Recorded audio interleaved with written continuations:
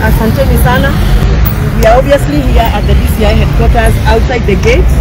We have tried to access the DCI headquarters to uh, have a formal engagement with the concerned authorities and they have obviously denied us entry.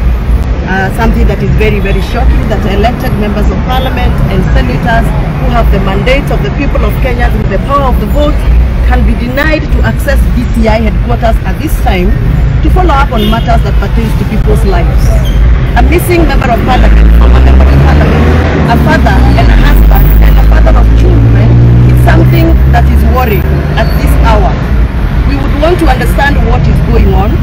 Abductions are really back in this country where people cannot go freely to a funeral and go back home. And this is something we wanted to have a conversation with the in charge uh, security officers at the DCI. They have started telling us to go to Nyeri, is our regional headquarter, and I don't think that is procedural for any member of parliament to be denied to access services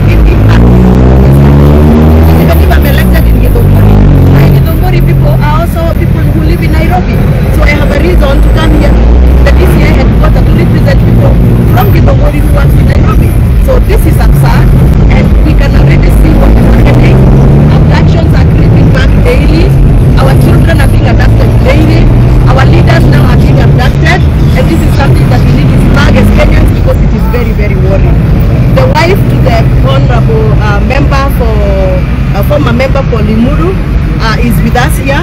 She's really traumatized. Even please come here, Mama. Just come around here. Even the children and the grandchildren are here, and uh, family. Please come.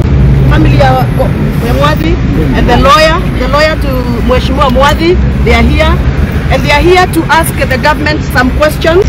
What wrong did Honorable Mwathi do to qualify that kind of mistreatment and indignified manner of arrest?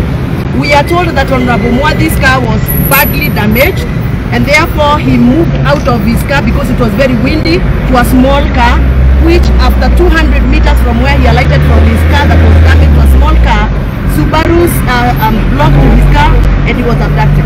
And right now the wife is here, she doesn't know where her husband is, the lawyer is here, the children are here. And that is why we came in solidarity uh, to speak on behalf of Honorable Mwathi. And even that who- who- unajua pahali yuko? Hajulikana pahali yuko mkuu.